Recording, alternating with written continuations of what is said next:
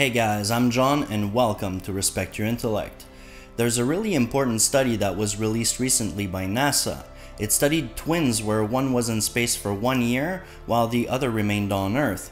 The results really shed a lot of light on what happens to our bodies and even our minds during spaceflight. Don't forget to hit the like and subscribe buttons and let's get started.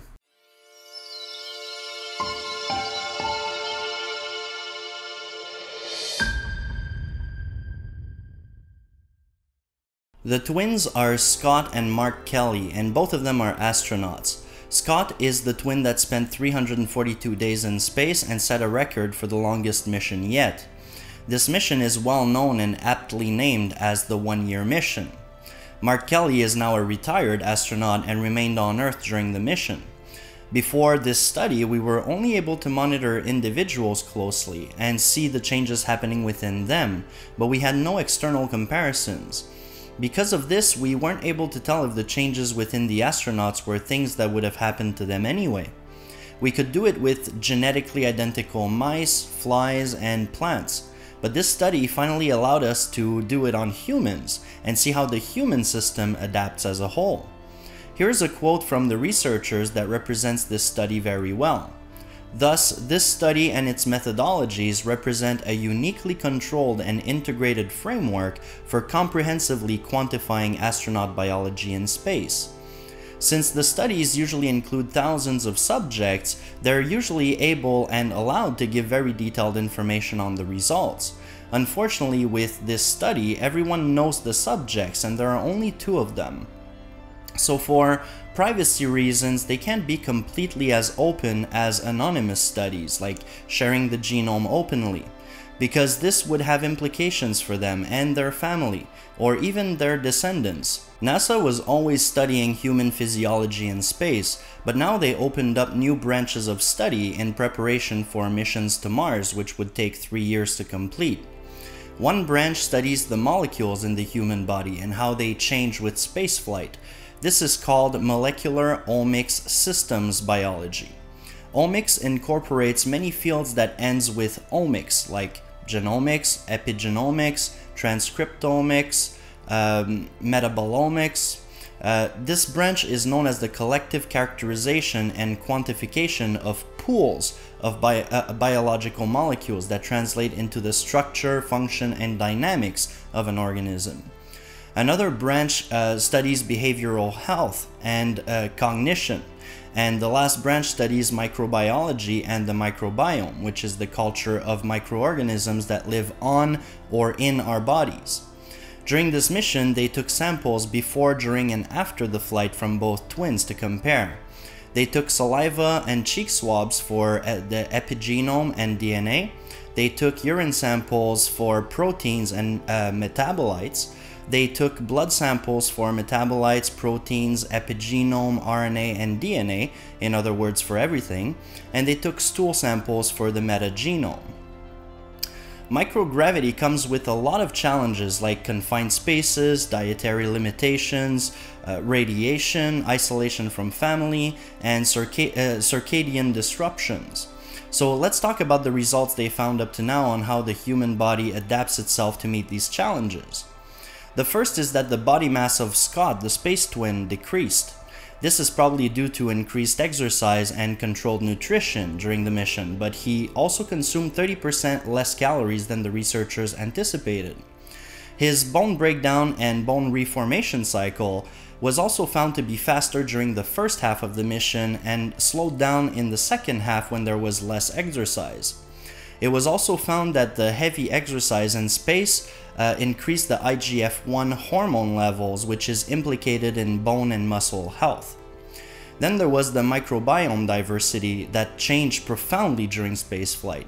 Researchers think that the food consumed in space might have had um, a role to play, but um, or as could other environmental factors.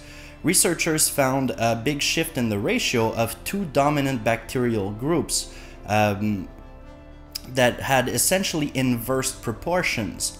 This all returned to normal after landing, so the changes were not permanent. As of when Scott landed, they also found that his uh, inflammation increased significantly. The C-reactive protein levels is a widely accepted biochemical marker for inflammation, and there appeared to be a spike in inflammation soon after landing. Uh, it did return to normal before the end of the study.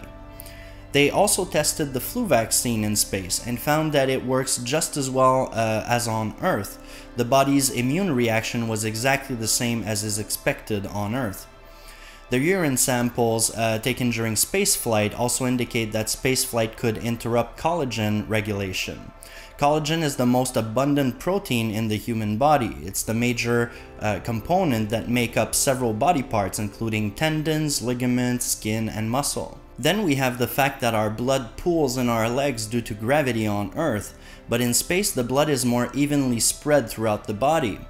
The feeling is a bit like when you're hanging upside down on monkey bars and you feel the pressure in your head increase. Well, that's how Scott felt in space for one year. You can see that facial puffiness in most pictures of astronauts in space. The human body detects this increase of fluid in the upper body as overhydration and works overtime to reduce that fluid as urine. It was also found that the heart becomes rounder and weaker in space since it doesn't have to pump as hard. This is because gravity isn't pulling down the blood and because astronauts have 20% less fluid in their bodies while they're in space. This all returned to normal shortly after landing, but it's still not known whether the changes to the heart's shape or function are permanent, or if they'll have long-term health effects. Then there were uh, the telomeres that received a lot of attention. The telomeres are the little caps at the end of chromosomes that protect DNA, a bit like the handles on a jump rope. As we age, the telomeres become shorter, so it's usually associated with aging. But they can also get shorter as we experience other things like stress, different environments, and different lifestyles. Scott's telomeres in space actually lengthened, which tends to suggest that if we put everything else aside, and this was the only factor, we could potentially live longer in space.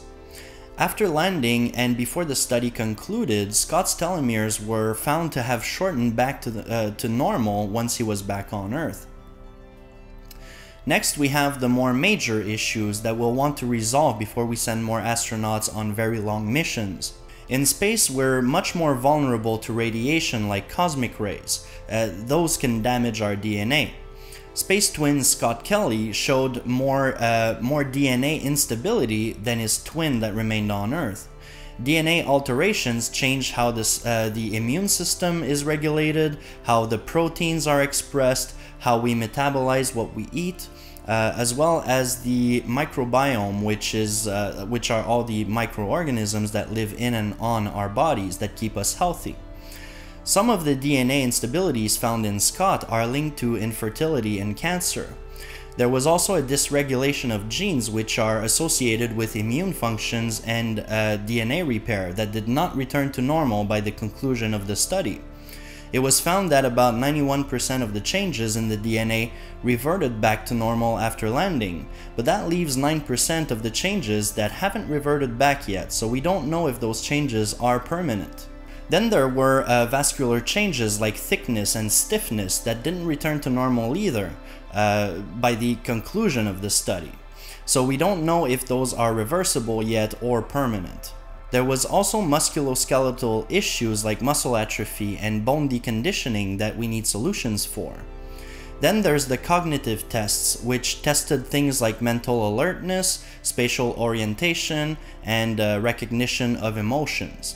This stayed largely unchanged during spaceflight, but there was a more pronounced decline after landing, and was still persisting six months until the end of the study. Uh, this could simply be due to adjusting back to Earth's gravity or having an extremely busy schedule uh, after the landing. Since we don't know for sure yet, the cognitive studies are being ramped up now. Another one of uh, the big problems is that we've confirmed uh, observations that were made in many other astronauts, and that's the changes to the structure of the eye, resulting in vision changes.